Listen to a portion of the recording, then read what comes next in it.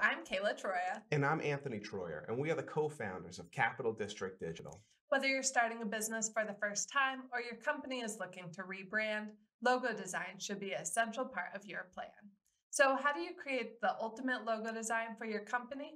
Let's discuss five key factors to consider when creating a logo. First, you should use a combination of imagery and text in your logo. The combination of the image with the company's name will create brand recognition over time to where your customers will be able to see just the image and still know it's your company without the name being there. Another key factor to consider when creating a logo is to compare with your competitors. The last thing you want when creating a logo design for your company is to create one that is too similar to your competitors. When comparing their logos, analyze what is missing and what could make yours better. For example, lack of color or lack of imagery. Next, choose your colors wisely. If your company already has branding guidelines, this part is easy. Simply use the colors in your branding to create your logo design. If you don't, look up the symbolic meanings of different colors using color theory. When choosing colors that will look good together for your logo design, be sure to refer to the color wheel guidelines.